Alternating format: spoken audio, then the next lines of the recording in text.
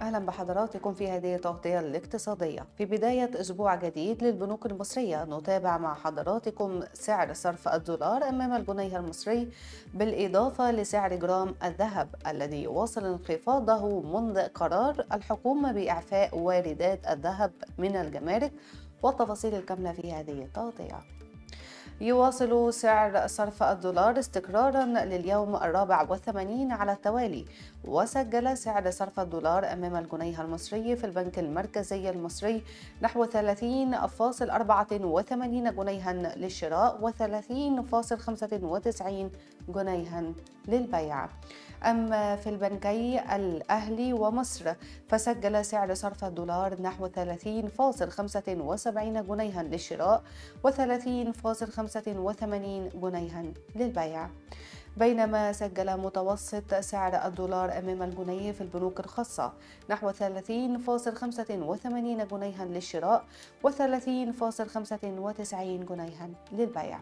ومن هذه البنوك التجارية الدولي CIB أبو ظبي التجاري آه الإسكندرية قطر الوطني الأهلي فيصل الإسلامي QNB Crédit Agricole الاستثمار العربي المصرف العربي الدولي المصرف المتحد المشرق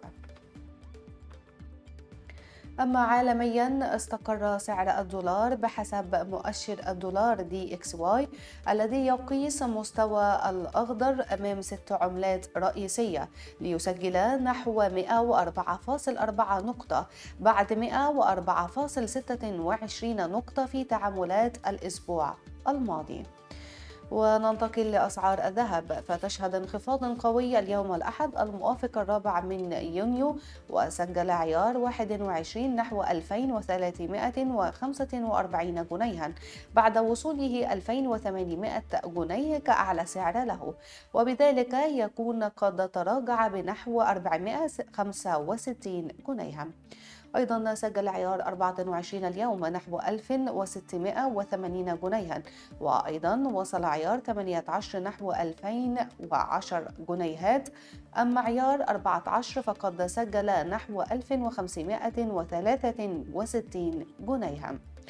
وتراجع جنيه الذهب بقوة نحو 700 جنيه وسجل اليوم نحو 18760 جنيها بعد أن كان نحو 1924 جنيها. وأيضا بلغت سعر الأوقية اليوم الأحد عيار 24 نحو 1984 دولارا بعد 2056 منذ أيام.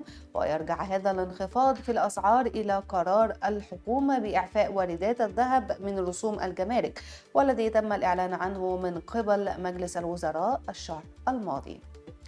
إذا مشاهدينا قدمنا لحضراتكم أسعار صرف الدولار أمام الجنيه المصري وسعر جرام الذهب بمختلف أعيرته.